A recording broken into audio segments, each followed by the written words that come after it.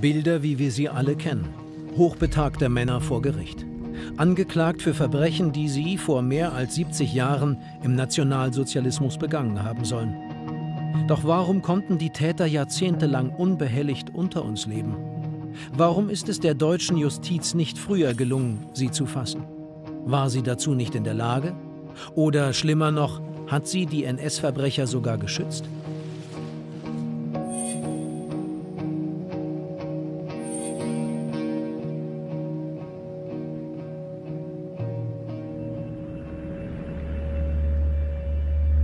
»1945. Der Zweite Weltkrieg ist zu Ende.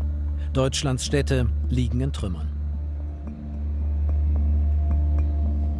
Mit dem Sieg der Alliierten endet die NS-Zeit, in der Deutsche zahllose, unfassbare Verbrechen begangen haben.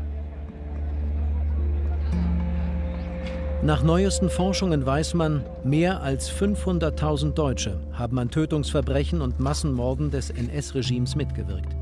Sie waren daran beteiligt, unschuldige und wehrlose Menschen zu vergasen, sie verhungern zu lassen, zu erschlagen oder zu erschießen.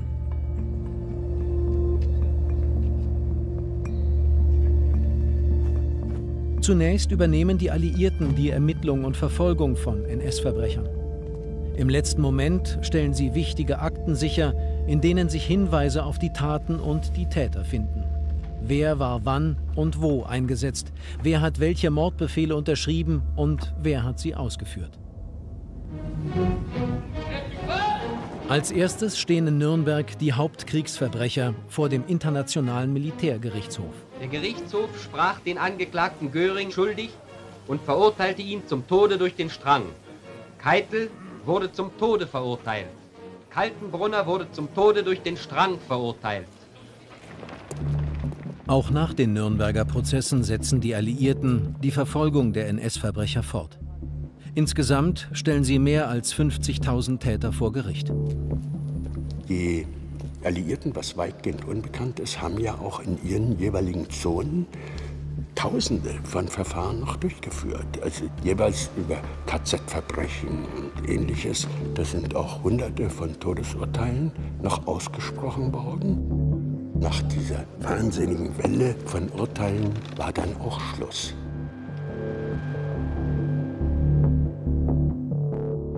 1949 wird die Bundesrepublik gegründet. Gleich in seiner ersten Regierungserklärung macht Bundeskanzler Adenauer klar, dass er die Entnazifizierung durch die Alliierten beenden wird. Durch die Denazifizierung ist viel Unglück und viel Unheil angerichtet worden. Die wirklich Schuldigen sollen mit aller Strenge bestraft werden. Aber im Übrigen dürften wir nicht mehr zwei Klassen von Menschen in Deutschland unterscheiden. Die politisch Einwandfreien und die nicht Einwandfreien. Diese Unterscheidung muss baldigst verschwinden. Adenauer selbst ist kein ehemaliger Nationalsozialist. Ihm geht es um die Macht. Deshalb buhlt er um die Gunst der Deutschen. Er kennt geheime Meinungsumfragen der Amerikaner. Sie zeigen, die meisten Deutschen halten den Nationalsozialismus nach wie vor für eine gute Idee, die lediglich schlecht umgesetzt wurde. Den Ton gaben die Nazis an. Die Volksgemeinschaft, die brachte eben Wählerstimmen und auf die wollte man nicht verzichten. Konsequent richtet Adenauer seine Politik nach dem Willen der Bevölkerung aus. Und der lautet Schluss mit der Verfolgung von NS-Tätern. Umgehend bringt seine Regierung ein Gesetz ein, das sogenannte minderschwere Verbrechen aus der Nazizeit amnestiert.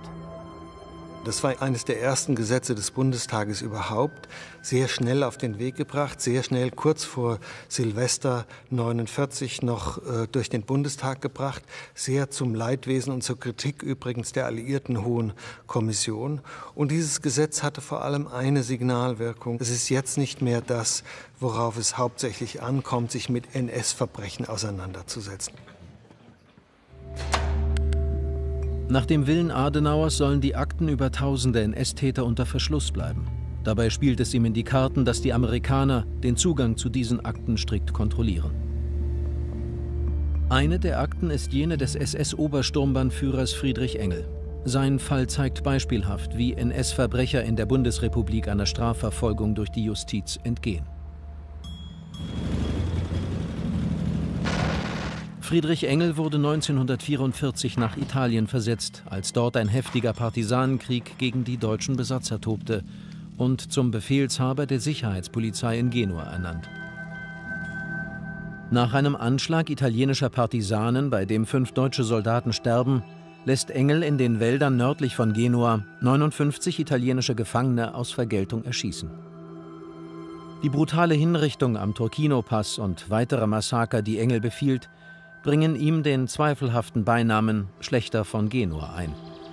Engel hatte die Spezialität, die Leute einzeln nacheinander zu ermorden, sodass die später dran kommenden erstmal mit ansehen mussten, wie ihre Kameraden erschossen wurden. Als die US-Armee 1945 Italien befreit, nimmt sie zahlreiche SS-Offiziere gefangen, die sich auf der Flucht befinden. Unter ihnen auch Friedrich Engel. Die Amerikaner bringen Engel nach Oberursel, wo er in einem Internierungslager verhört wird. Engel leugnet, an Kriegsverbrechen beteiligt gewesen zu sein, doch die Amerikaner wissen genau, mit wem sie es zu tun haben. 1947 gelingt Friedrich Engel die Flucht. Wie genau er geflohen ist, können wir nicht rekonstruieren, aber es steht zu vermuten, da er ein ranghoher SS-Offizier war, dass es da ein Netzwerk gab, wie in anderen Lagern auch, dass man versucht hat, bestimmte Leute in Sicherheit zu bringen. Er hatte jedenfalls einen gefälschten Entlassungsschein auf den Namen Schottenberg und hat sich dann erstmal aus der alliierten, westalliierten Zone in den Osten abgesetzt. Da wurde er nicht gesucht und da hat er als Landarbeiter gearbeitet. Bald schon kehrt Friedrich Schottenberg alias Engel zurück in den Westen. Im Harz in Braunlage findet er eine Anstellung als Bademeister. Dort knüpft er Kontakte zu alten Bekannten aus gemeinsamen SS-Zeiten – die vermitteln ihn an eine Holzimportfirma nach Hamburg. Dort startet Friedrich Engel eine typisch deutsche Nachkriegskarriere. Der Beginn der 50er Jahre. Das Leben in der frisch gegründeten Bundesrepublik normalisiert sich. In der Hauptstadt Bonn benötigt man Personal für die zahlreichen neuen Ministerien. Dies stellt die Regierung vor ein Problem. Sie will auf jene erfahrenen Beamten zurückgreifen, die 1945 wegen ihrer Kollaboration mit den Nazis von den Alliierten aus ihren Ämtern entfernt wurden. Wie aber kann man die Rückkehr teilweise hochbelasteter Beamter in den öffentlichen Dienst arrangieren, ohne dass die Alliierten daran Anstoß nehmen? Wie kann man sogar ehemalige Gestapo-Beamte wieder einstellen? Die Lösung liefert das sogenannte 131er Gesetz. Da geht es nämlich darum, dass gesagt wird, Gestapo-Beamte sind davon zunächst ausgeschlossen. Es sei denn, sie sind von Amts wegen zur Gestapo beordert worden. Der Trick dahinter, fast jeder Gestapo-Beamte wurde von Amts wegen zur Gestapo versetzt. Was klingt wie eine Ausnahme, war in Wirklichkeit der Normalfall. Allein durch diese Regelung strömen mehr als 50.000 NS-Beamte zurück in den Staatsdienst der jungen Bundesrepublik. Man muss einfach sehen, dass dieses 131er Gesetz wie einige dieser vergangenheitspolitischen Gesetze von einer relativ kleinen Gruppe von Spezialisten vorbereitet werden und dann mehr oder weniger dem Bundestag als eine plausible Sache verkauft werden, ohne dass da jeder Einzelne so richtig durchblickt. Das 131er Gesetz ermöglicht auch die Übernahme ehemaliger NS-Juristen in das Bundesjustizministerium. Es sind alte Seilschaften, die hierbei helfen.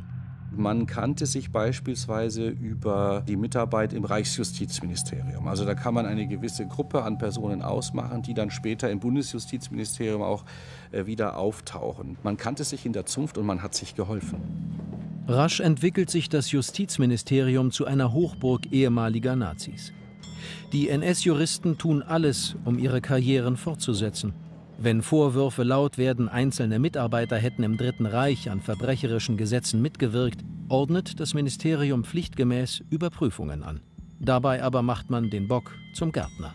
dort wurden dann in der Regel halt auch ehemalige Parteigenossen mit der Begutachtung dieses Verhaltens aufgefordert, äh, sodass das Ergebnis von vornherein eigentlich klar war, dass äh, das Verhalten zwischen 33 und 45 aus rechtlicher Sicht nicht zu beanstanden war. Das ist das gängige Ergebnis. Und bislang haben wir keinen einzigen Fall gefunden, in dem tatsächlich irgendwelche Maßnahmen ergriffen wurden gegen Mitarbeiter des Bundesjustizministeriums. Während in der Bundesrepublik Juristen von zweifelhafter Vergangenheit in Amt und Würden bleiben, geht die DDR einen anderen Weg. Auf Druck der Sowjetunion muss der Arbeiter- und Bauernstaat demonstrieren, dass er mit der faschistischen Vergangenheit aufräumt. Aus diesem Grund werden sämtliche Juristen, die im NS-Regime tätig waren, aus ihren Ämtern entfernt. Es bestand ein großer äh, Bedarf an neuen Juristen, weil in der SBZ ungleich schärfer und radikaler die Justiz entnazifiziert wurde als in den Westzonen.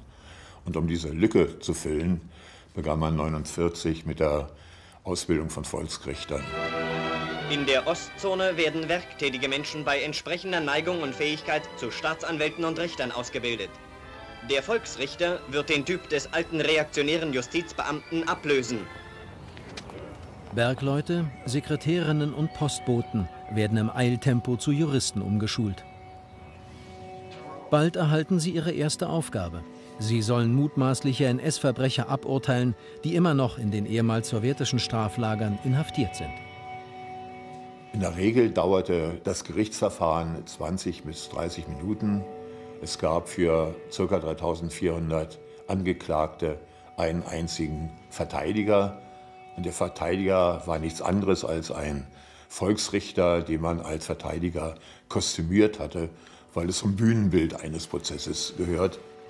Zum Bühnenbild gehört es auch, dass im Rathaus von Waldheim zehn Verfahren als mustergültige Schauprozesse geführt werden. Der Anschein eines ordentlichen Gerichtsverfahrens soll gewahrt werden. Doch in Wirklichkeit werden die Urteile aus dem Politbüro vorgegeben. Es stand fest, dass sie von vornherein verurteilt werden. Im konkreten Fall wurde dann am Abend vor der Gerichtsverhandlung durch eine Kommission nochmal festgelegt, welche Urteile zu fällen sind. Das vor allen Dingen, nachdem zuvor einige Richter zu milde Strafen ausgesprochen hatten. Nach Ende der Waldheimer Prozesse schließt die DDR Frieden mit den Tätern. Ehemalige Nationalsozialisten werden, wie im Westen auch, für den Wiederaufbau gebraucht. Zu dieser Zeit lebt der ehemalige SS-Obersturmbannführer Friedrich Engel nach wie vor in Hamburg mit bürgerlicher Fassade.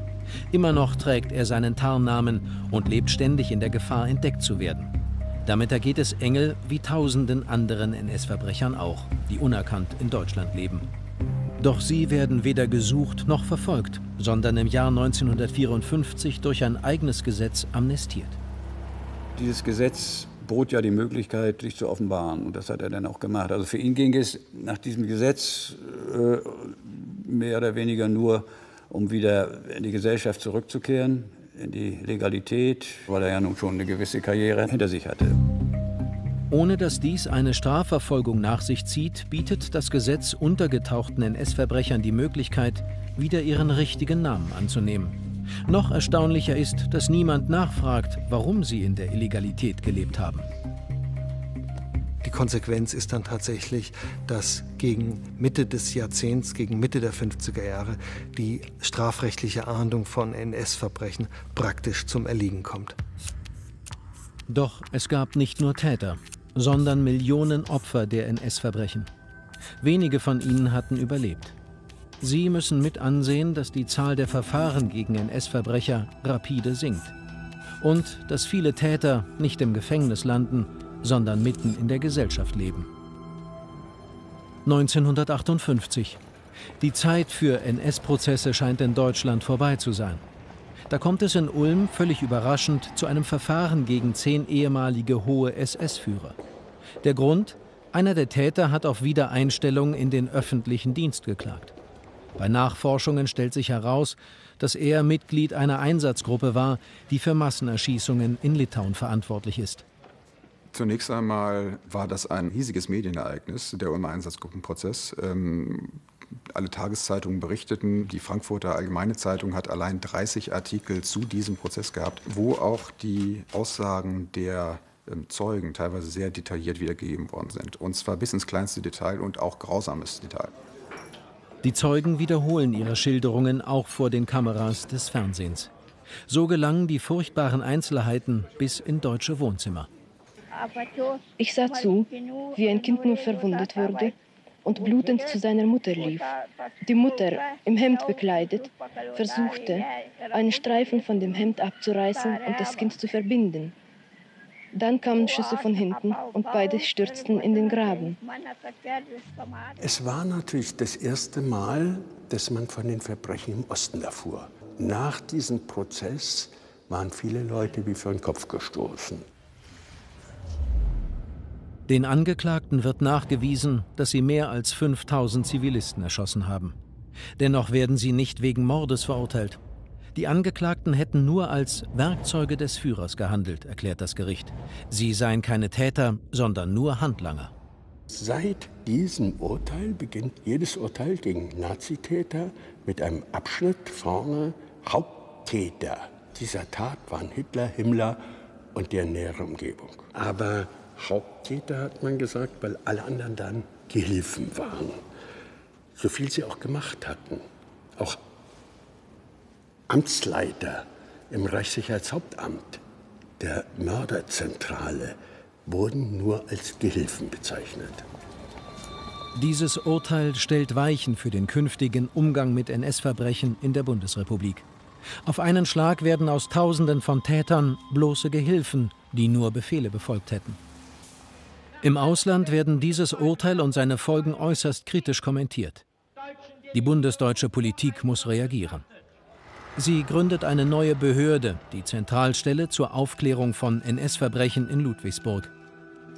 Sie soll systematisch gegen NS-Verbrecher ermitteln. Friedrich Engel macht zur gleichen Zeit Karriere. Im Auftrag seiner Holzimportfirma reist er quer durch alle Welt. Was er nicht weiß, in Italien sind nach dem Krieg Beweise gesammelt worden, die seine Taten belegen. Das waren Militärstaatsanwälte, die haben umfangreich Zeugen vernommen, die haben Exhumierungen durchgeführt und haben auch sehr genau rausarbeiten können, welche Truppen daran beteiligt waren. Also war auch klar, wenn Erschießungen durchgeführt wurden, unter wessen Kommandogewalt die erfolgten. Das lag ja alles vor. Aber dann verschwand es. Was war geschehen? 1956 trifft sich der italienische Außenminister Gaetano Martino zu vertraulichen Gesprächen mit Bundeskanzler Konrad Adenauer. Es geht um einen bundesdeutschen Wehrbeitrag zur NATO. Adenauer hat gefordert, er tritt nur der NATO bei, wenn im Ausland keine Verfahren gegen deutsche Soldaten mehr angestrengt werden. Und das war ein Kuhhandel. Der Kuhhandel ist brisant. Akten über hunderte deutsche Kriegsverbrechen in Italien werden aus dem Verkehr gezogen und in einem Schrank weggesperrt. Unter den Akten ist auch die von Friedrich Engel. Damit sind viele Ermittlungen im Ausland auf Eis gelegt. Doch bald schon nimmt das Ansehen der Bundesrepublik erneut Schaden. In Köln wird die Synagoge mit Hakenkreuzen beschmiert. Es ist der Beginn einer antisemitischen Schmierwelle in ganz Deutschland. Die Weltöffentlichkeit fragt beunruhigt, ist die Bundesrepublik immer noch Naziland? In London kam es zu neuen Protesten gegen die antisemitischen Ausschreitungen in der Bundesrepublik. An die 50.000 Menschen zogen schweigend an der Botschaft der Bundesrepublik vorbei. Die Bundesregierung muss dem Ausland dringend eine Erklärung der Vorfälle anbieten. Schnell findet man einen Schuldigen. Zunächst wurden Agenten der DDR vermutet, dass also Agenten aus der DDR rübergekommen sind in den Westen und zur Diskreditierung und Diffamierung der Bundesrepublik überall Hakenkreuze an Synagogen und Grabsteine schmieren. Die Antwort aus dem Osten zielt auf einen wunden Punkt. Berlin, auf einer internationalen Pressekonferenz des Ausschusses für deutsche Einheit wies Professor Albert Norden nach, dass 600 Nazi-Juristen im Dienste Adenauers stehen. Die DDR legt Dokumente vor, die die Nazi-Vergangenheit zahlreicher Juristen des Westens eindeutig belegen. Man gibt ein sogenanntes Braunbuch heraus, das die NS-belasteten Richter des Westens brandmarkt und eine unmissverständliche Sprache spricht. Hitlers Justiz ist jetzt auch Adenauers Justiz. Und mit diesen drastischen Parolen wurde agitiert. Es wurden äh, die Vergangenheiten dokumentiert dieser Leute. Dazu kam auch noch, dass man die Personalakten der Reichsjustiz in Ostberlin hatte. Und mit diesen Kampagnen hat sich die DDR sehr wirkungsvoll als der antifaschistische Arbeiter- und Bauernstaat gegenüber dieser Adenauer Republik abgesetzt. Die DDR geht noch einen Schritt weiter. Sie bietet bundesdeutschen Behörden an, Akten über Todesurteile des NS-Regimes offenzulegen, um belastete Richter zu enttarnen. Die DDR hat ab Ende der 1950er Jahre Staatsanwälte äh, zu Staatsanwaltschaften äh, im gesamten Bundesgebiet geschickt, mit Akten im Gepäck, die den Staatsanwaltschaften angeboten hat, wir haben hier Akten, die bestimmte Personen bei euch belasten. Wollt ihr die haben? Nein, danke, wollen wir nicht. Haut ab. Trotzdem finden einige Akten den Weg über die Grenze und werden Teil einer Ausstellung, die westdeutsche Studenten 1959 organisieren. Unter dem Titel Ungesühnte Nazi-Justiz enthüllt sie die Namen von NS-Richtern, die nach dem Krieg in der Bundesrepublik unbehelligt Karriere machen können. Die Übernahme schwer belasteter Personen aus dem Dritten Reich ähm, bedeutet tatsächlich doch eine nachträgliche Legalisierung und Gutheißung dessen, was sie getan haben. Und die vorgelegten Dokumente sind offenbar echt. Die Hören Wein kriegte diese Ausstellung dadurch, dass der Generalbundesanwalt und prominente äh, CDU-Rechtspolitiker Max Güde sich das angeguckt hat in Karlsruhe und gesagt hat, das Material ist echt. Kurz darauf erstatten die Ausstellungsmacher Strafanzeige gegen 43 amtierende NS-Richter. Das war eine riesige Prozesslawine, die dadurch losgetreten worden ist, die zwar nicht äh, zu tatsächlichen ähm, Gerichtsprozessen führte, aber es wurde, wie gesagt, ermittelt. Ähm, alle Fälle wurden eingestellt, aber die Rechtsausschüsse vom Bundestag und die Rechtsausschüsse der Landtage konnten sich so ein eindeutiges Bild machen, was für Richter tatsächlich für sie tätig waren. Die Justizpolitik versucht dann, die allerschlimmsten dieser Belasteten im sogenannten Richtergesetz von, 100, äh, von 1961 loszuwerden, in einem Spezialparagraphen, der die gewissermaßen einlädt, doch in die Frühpension zu gehen. 149 Richter machen von der vorzeitigen Ruhestandsregelung Gebrauch. Die Bundesregierung ist zufrieden, das Vertrauen in die Bonner Justiz wiederhergestellt. Doch dann eine weitere schwere Panne. 1962 wird Wolfgang Frenkel neuer Generalbundesanwalt. Auf Nachfrage aus dem Justizministerium gibt Frenkel an, nicht an Todesurteilen des NS-Regimes mitgewirkt zu haben. Die DDR entlarvt seine Behauptung als Lüge. Der höchste Ankläger des Bonner Staates ist des Massenmordes überführt. Wolfgang Immerwahr Frenkel. Er schickte als stellvertretender Reichsanwalt immer wieder unschuldige Menschen aufs Schafott. Die Handschrift des Mörders ist zum Tode zu verurteilen. Wegen Diebstahl eines Brotes zum Tode verurteilt. Frenkel hat in 44 Fällen, wo auf Haftstrafen erkannt worden war, Einspruch erhoben und darauf hingewirkt, dass die Haftstrafen in Todesstrafen umgewandelt worden sind. Daraufhin musste der Generalbundesanwalt zurücktreten. Das Thema war beileibe noch nicht beendet. Eine Justiz also, die selbst belastet ist und deshalb kein Interesse an der Verfolgung von NS-Tätern hat? 1963. In Frankfurt beginnt der sogenannte Auschwitz-Prozess. 22 Mitglieder der Lagermannschaft des KZ werden angeklagt. Der Mann, der den Prozess mit aller Macht durchgesetzt hat, ist Hessens Generalstaatsanwalt Fritz Bauer. Fritz Bauer war eine völlige Ausnahmeerscheinung, der in Deutschland viel angefeindet wurde, auch innerhalb der Justiz. Von ihm ist ja dieser berühmte Satz überliefert in seinem Dienstzimmer, wenn ich diese Tür verlasse, betrete ich Feindesgebiet. Bauer, einst selbst vor den Nazis geflohen, verfolgt im Auschwitz-Prozess eine radikal neue Anklagestrategie. Er will erreichen, dass jeder, der in den Konzentrationslagern Dienst tat, für die Beteiligung am Massenmord verurteilt wird. Fritz Bauer wollte den Holocaust als Verbrechen bezeichnen. Und jeder, der mitgemacht hat dabei, ist Tätergehilfe oder was auch immer, aber jedenfalls hat zu diesem Gesamtmord seinen Beitrag geleistet. Doch Fritz Bauer scheitert. Das Gericht beharrt darauf, die Angeklagten nur dann zu verurteilen, wenn ihnen einzelne Mordtaten nachgewiesen werden können. Die Taten mussten ganz konkret, wie wenn sie fotografiert worden wären, mussten sie belegt werden. Und wenn das nicht möglich war, dann konnte ihm eben nichts nachgewiesen werden. Die Verteidiger haben natürlich alles getan, äh, um das in Frage zu stellen. Und wenn dann ein Verteidiger anfing, äh, Angaben von Zeugen zu bezweifeln, ähm, äh, dann war das grenzwertig in meinen Augen. Die Zeugen, meist selbst Opfer, werden inquisitorisch nach ihren Erinnerungen befragt. Vielen ist es unerträglich, dass sie sich für Verbrechen, die man ihnen angetan hat, nun im Land der Täter rechtfertigen müssen.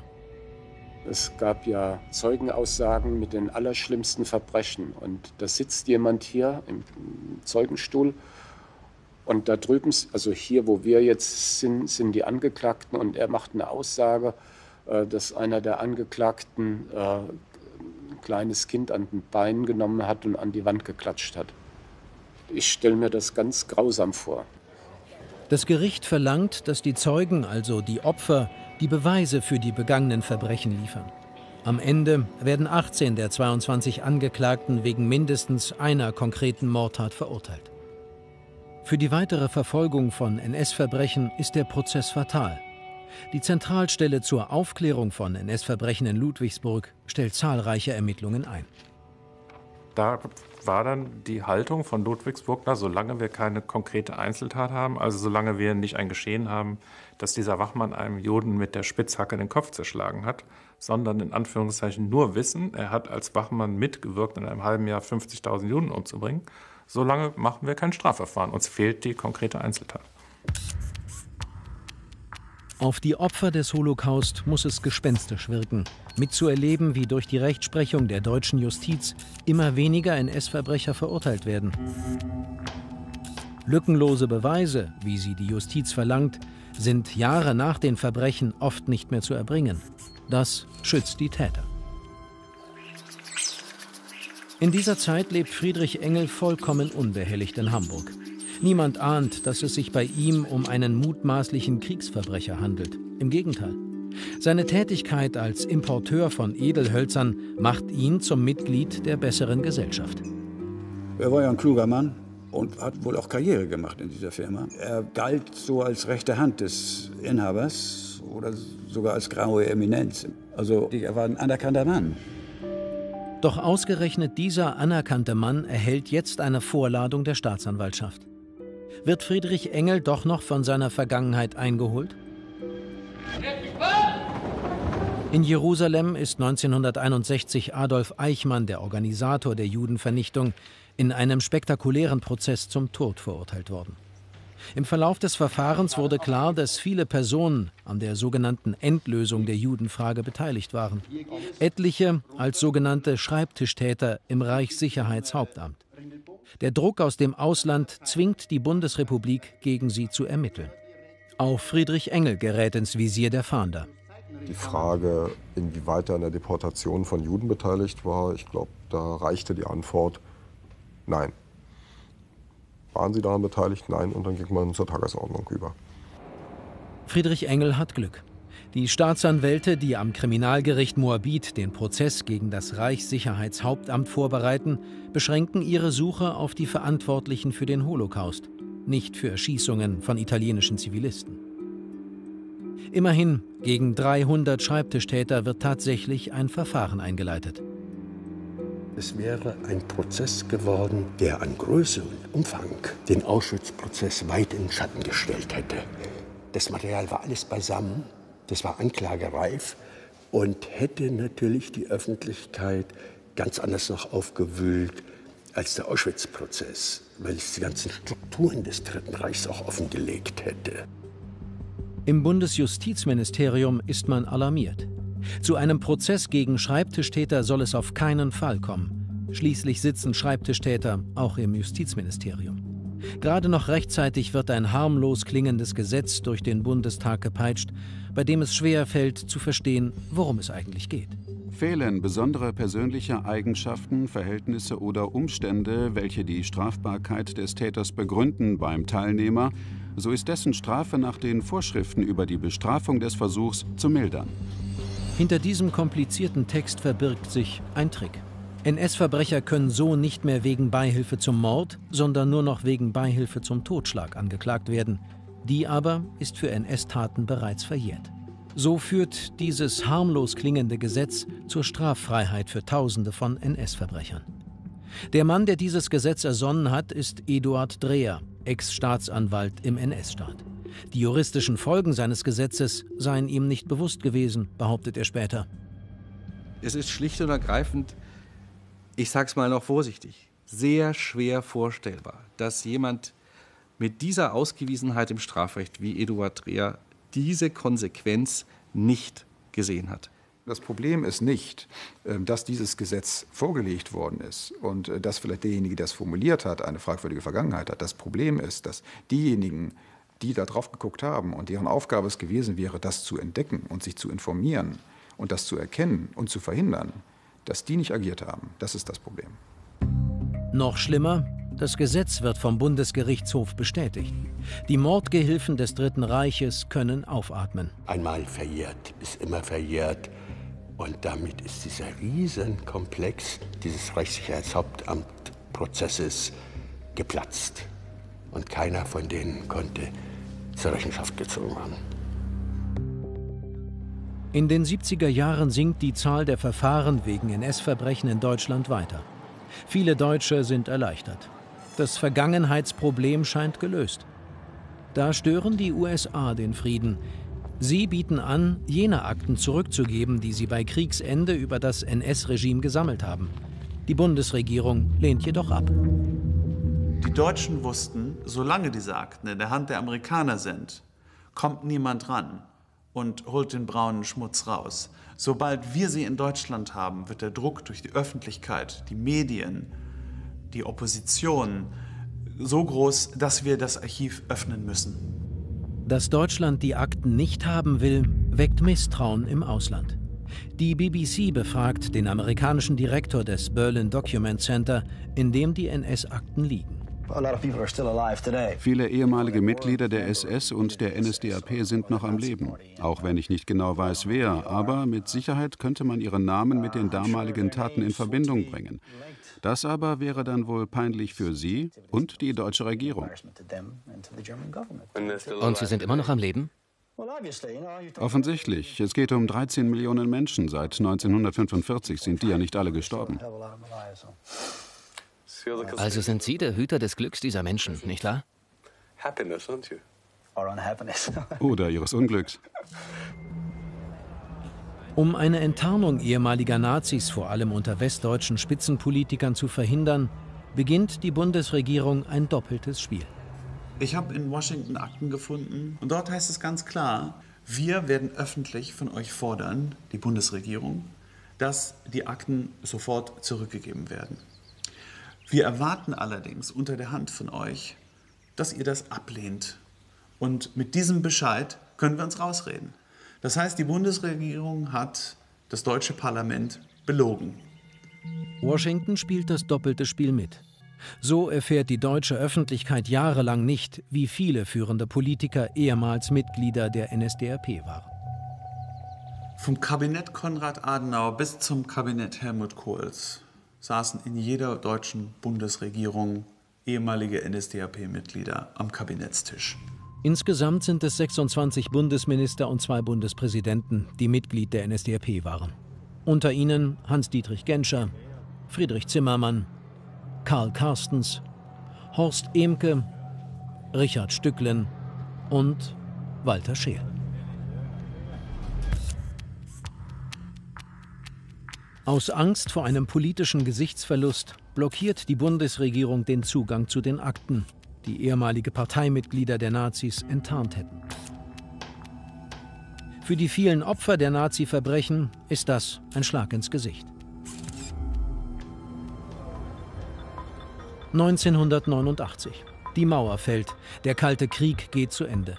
Überall auf der Welt öffnen sich plötzlich die Archive.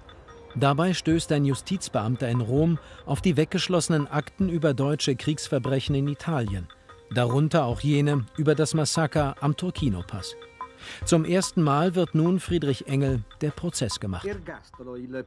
Zuchthaus für Siegfried Engel, den ehemaligen SS-Kommandanten von Genua, hat ein Militärgericht in Turin entschieden. Zuchthaus für die Massaker am Turkino-Pass und weitere Verbrechen, die 147 Personen das Leben gekostet haben. Engel, heute 90 Jahre, lebt in Hamburg und wird nicht in Italien erscheinen.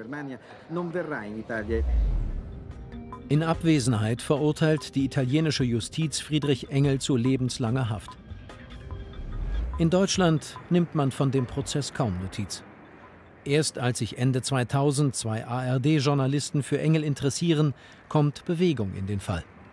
Den Aufenthaltsort ausfindig zu machen war eigentlich gar nicht so schwer. Man nimmt ein deutsches Telefonbuch oder zu dem Zeitpunkt waren es schon Telefon-CDs und guckt einfach mal nach, wie viel Friedrich, Wilhelm, Georg, Siegfried, Engel gibt es in Hamburg und dann kam man auf zwei oder drei Adressen und danach haben wir einfach bloß äh, noch eine Anfrage beim Einwohnermeldeamt gestartet. Das war eigentlich der kürzeste Weg.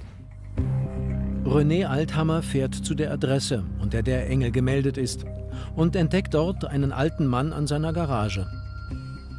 Aus dem Auto heraus macht er verdeckte Filmaufnahmen. Ich dachte, der muss dich doch sehen. Der guckte genau rein ins Auto, weil ich stand direkt vor der Einfahrt und filmte aus dem Seitenfenster raus, sah ihm genau ins Gesicht und dachte, der sieht genau so aus wie auf den Fotos, die du hattest. Er hatte ein sehr markantes Gesicht, man konnte ihn gut erkennen.